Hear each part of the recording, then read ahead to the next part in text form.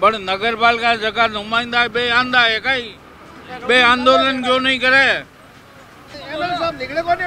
अरे M L A कोई लेने देनो ही वोट ले लिया बीआरई कहीं लेने देनो नौका की हाईवे की रोड क्यों बाकी है और सारी जो हाईवे रोड बनी हुई है और ये इतना टुकड़ा क्यों बाकी छोड़ा हुआ है ये क्या राजनीति है वो हमारे समझ से बाहर है ये राजस्थान सरकार के बस की बात नहीं है और ना नगर पालिका प्रशासन के बस की बात नहीं है। मैं एमएलए साहब को ये मैसेज देना चाहूँगा और चेयरमैन साहब को मैसेज देना चाहूँगा।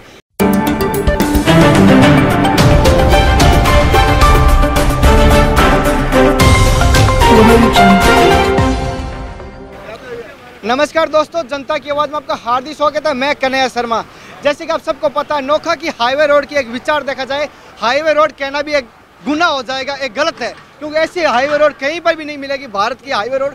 जैसे देख पा रहे हो, ये हाईवे रोड है। मैं कैमरे में, मेन हाईवे रोड पे बात करूँगा और यहाँ की आम जनता ने जो बात कर रहे जो कंप्लेन कर रहे हैं, उनका क्या कहना है इनके बारे में? क्योंकि आज मेरे सुबह जब यहाँ की घटना बताऊँ, आँखों देखी, हालाँकि उस समय मेरे पास कैमरा नहीं था, बाइक पे था, एक ट्रक के आगे सीधा बाइक वाला गिर गया।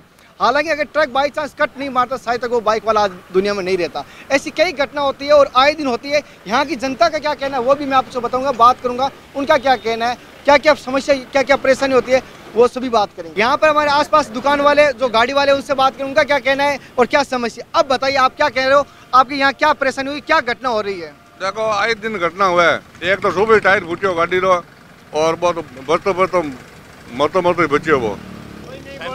आपका क्या कहना है? आप इस रोड को देखते हुए। इस रोड बनाने के बोल रहे हैं आए दिन यहाँ घटना होती है। हैं? आए दिन एक्सीडेंट होता है। मरते मरते बचते हैं। आज सुबह की घटना हुई थी एक बाइक वाला गाड़ी के आगे गिर गया वो मरते मरते बचा है। गाड़ी का टायर फूट गया। है क्या कह रहे हो? जब गाड़ी चलती है ना तो ये कंकर है ना उछलते हैं सौ की स्पीड आते हैं कभी कान की तरफ़ से कभी पाँव की तरफ़ से रोज नहीं गोलियाँ चालन भी बोलता है हमारे अंडर में नहीं है। ठीक है ना? फिर कभी मोटरसाइकिल गिरती है कभी गाड़ियाँ गिरती है।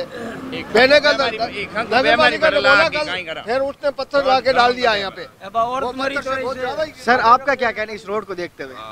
रोड का कहना यही है यहाँ पर सारे दुकानदार परेशान होते हैं और बहुत धूल भरी हवा चलती है और आए दिन यहाँ पर दुर्घटनाएँ होती है।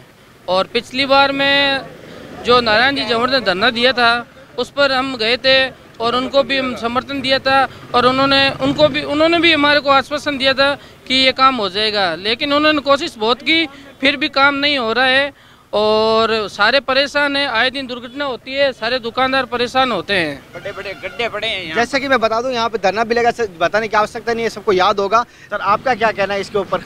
हम यही चाहते हैं कि दुनिया को परेशानी है वो परेशानी नहीं होनी चाहिए। रोड के ऊपर खड़ा है आए दिन ऐसी घटना होती है वो घटना नहीं होनी चाहिए। सरकार फिर किस काम आएगी? वोट लेने को सभी आ जाते हैं एमएलए आ जाते हैं हर कोई भी आ जाते हैं लेकिन ये सुविधा कब होगी? इन सभी का ये कहना है वोट लेने के लिए सभी आ जाते हैं लेकिन ये समस्या सुनने के लिए कोई नहीं आ रहा। ये रही हमारे एमएलए साहब को भी बहुत बार अवगत करे हैं लेकिन कुछ भी उनका हो नहीं रहा कोई आश्वासन भी नहीं है वो कुछ काम नहीं हो रहा है। एमएलए साहब की बोले है तो इन्होंने कह रहे हैं चेयरमैन साहब को बोले एमएलए साहब को बोले लेकिन भुगतना तो आम जनता को मजदूर को पड़ता है। पड़ता है। हम यहाँ पर रहते हैं हमको ज़्यादा दिक्कत होता है। गाड़ी वाला तो यहाँ पर रेगुलर सुबह आता है यहाँ से चले जाता है रेगुलर चलते हैं। मैं तो चौबीस घंटा आता ही रहा हमारा तो बीमारी होगी हाँ सही बीमारी होगी कहीं का और खंको होगी। इस रोड के लिए क्या कहना है? इस हाईवे रोड को हाईवे रोड हाईवे रोड खराब पड़ी है। यार कौन कोई तैयार कर रहे हैं। एक बार धरना भी हुआ था कुछ चालू भी हुआ था काम फिर भी कुछ हुआ नहीं। एक बार चालू हुआ वापस बंद हो गया। वापस हो छोड़ दिया और आगे तो कार्य लगा आगे आगे कार्य लगे थी। वही नहीं छोड़ दिया। पहले धरना भी हुआ था इसके लिए। इस इस हाईवे रोड को देखते हुए आपका क्या कहना है? बहुत स्थिति डाउन है रोड की। तो दुकानदार बैठे हैं ना ये दिन में बैठ नहीं सकते। सांस दमे का रोग होता है इससे दिन भर ये रेत उठती रहती है। काफ़ी लोग परेशान हैं। पूरा दुकानदार परेशान है। इन सभी का कहना है काफ़ी लोग परेशान है। देख और भी जनता से बात करें उनका क्या कहना है और गाड़ी वालों से भी बात करें उनका क्या कहना है। सभी से कोशिश करूँगा मैं एमएलए साहब को ये मैसेज देना चाहूँगा और चेयरमैन साहब को मैसेज देना चाहूँगा। नौका की हाईवे की रोड क्यों बाकी है और सारी जो हाईवे रोड बनी हुई है और ये इतना टुकड़ा क्यों बाकी छोड़ा हुआ है ये क्या राजनीति है वो हमारे समझ से बाहर है। आम लोग तेरह किलोमीटर है तेरह किलोमीटर बाकी है नौका नौका की और बाकी आम जनता का यह कहना है कि हर जगह रोड बनी हुई है बस नौका की सिटी के अंदर की रोड क्यों नहीं बन पा रही क्या कारण है। नौका की हाईवे रोड देखते हुए आपका क्या कहना है क्या विचार है? मेरा विचार बहुत अच्छा है ये नौका के लोकल जितने भी चूर नेता है उन सबको वोट नहीं देना बस यही है। इनका तो एक गुस्सा है जो आम जनता का गुस्सा दिखा रहे हैं ये तो क्योंकि गुस्सा होता भी क्यों नहीं है क्यों आए दिन घटना घटती है और किसी घर से अगर वोट मांगना आ जावे वे। और जनता तो ध्यान देवे को नहीं क्या हुआ तीन दिन चार दिन धरना दिया था? क्या हुआ उस धरने का? छह महीने हुए हैं। पब्लिक को ले जाके बिठा दिया बस। पब्लिक का गुस्सा जो है आम जनता के सामने दिखाई दे रहा है। छह महीने होने के बाद धरना दिया था और छह महीने बीत चुके उस धरने को।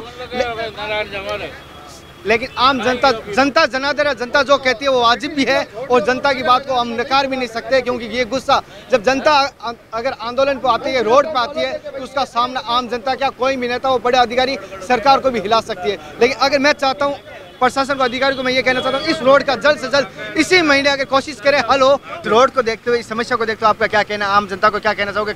कलेक्टर महोदय को यही कहना चाहेंगे कि पचास बार तो इसको रेत से, पत्थर से भर चुके हैं, इसके ऊपर डामरीकरण कब होगा? हम इससे मर रहे हैं, ज़बरदस्ती और पेट और फेफड़ों में रेत जा रही है। और गाड़ियों के टायर फूट रहे हैं। नौका मंडी के अंदर कलेक्टर हो, चेयरमैन हो, एमएलए हो, इनके ज़रूरत होती है तो ये हमारे के लिए तैयार रहते हैं। दसों दफे हमारे। लेकिन रोड तैयार नहीं करवाते हैं।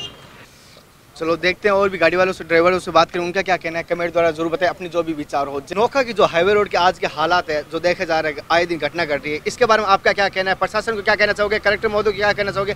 अपनी तरफ़ से कोई मैसेज हो बताइए। देखिए, ये हमारे लोकसभा प्रत्याशी अर्जुन राम जी मेघवाल जब केंद्र में ये आवाज़ उठाते हैं तो ये समस्या हो सकती है। ये राजस्थान सरकार के बस की बात नहीं है और ना नगर पालिका प्रशासन के बस की बात नहीं है। पिछले दिनों यहाँ के नगर पालिका अध्यक्ष ने धरना भी लगाया। तीन दिन नाटी के ढंग से उठ गए।